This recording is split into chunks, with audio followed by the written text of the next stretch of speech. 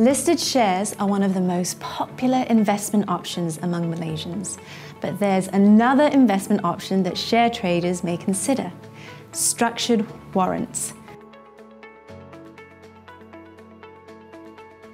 Both shares and warrants are listed on Bursa Malaysia. You can buy or sell warrants in the same way that you buy or sell shares, via your share trading account.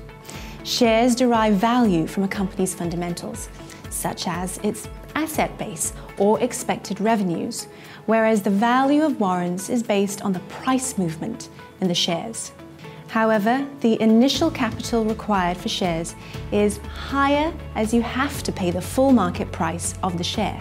On the other hand, warrants allow you to gain exposure to a particular share at only a fraction of its price. For instance, instead of purchasing share A, which costs 10 ringgit.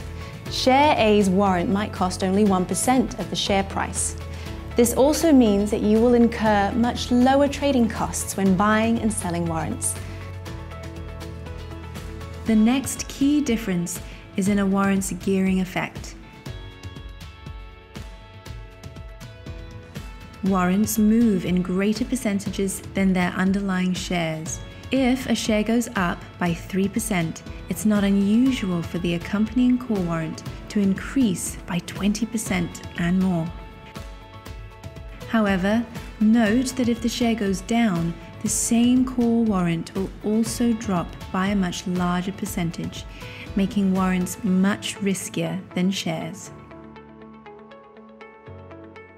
Further, with index warrants available over the FBM KLCI and other global indices, you're able to gain a broad exposure to the market instead of having to select individual shares.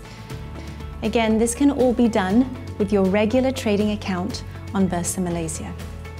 Warrants can be another investment option to consider if you're willing to take on more risk for the potential of a higher return.